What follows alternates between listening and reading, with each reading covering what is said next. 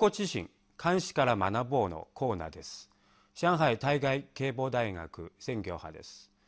今日紹介するのは唐の時代の詩人で後に四川と称される李白の名詩一人慶帝山に出す。です25歳の頃から放浪人生を始めた李白はいろんなところを旅しました。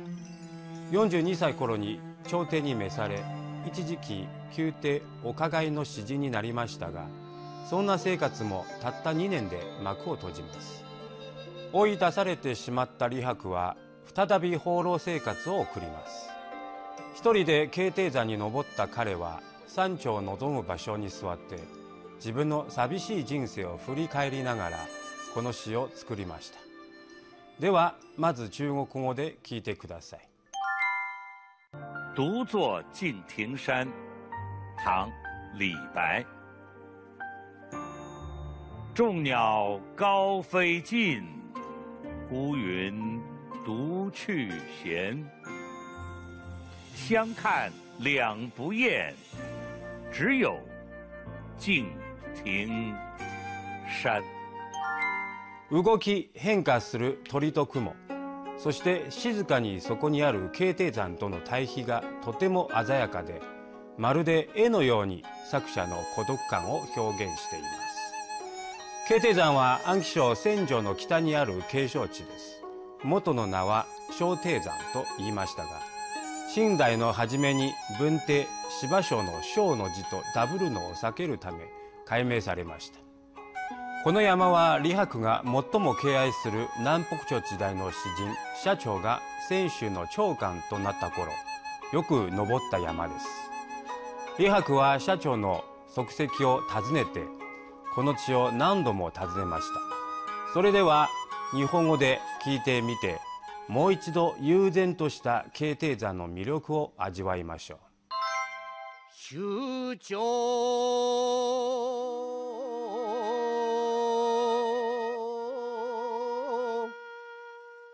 高く飛んで。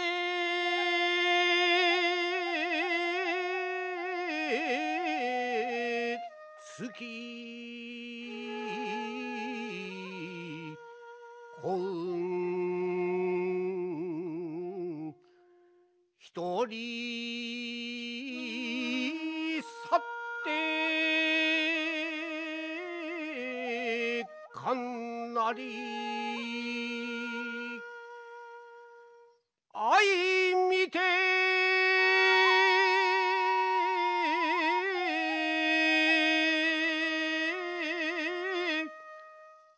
つながら。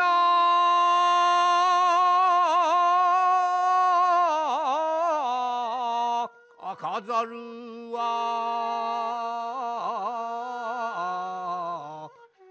ただ。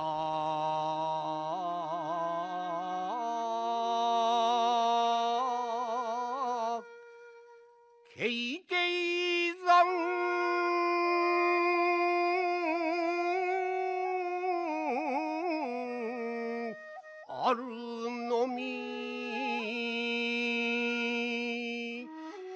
2012年1月中国国家観光局は慶帝山を 4A 観光地と定めました。中には李白を記念する太白徳座楼や幻想皇帝の妹玉心公主の墓などのスポットがあります。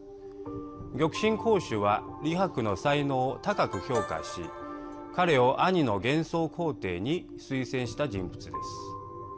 42歳の時朝廷に召された李白は天を仰ぎ大小して門をいで去る。我が輩ああにこれ方向の人ならんやという言葉を残し頂点に上がることを喜びました。ようやくチャンスが来たよ。どうしたんですか？長安で管林具部として活躍するんだ。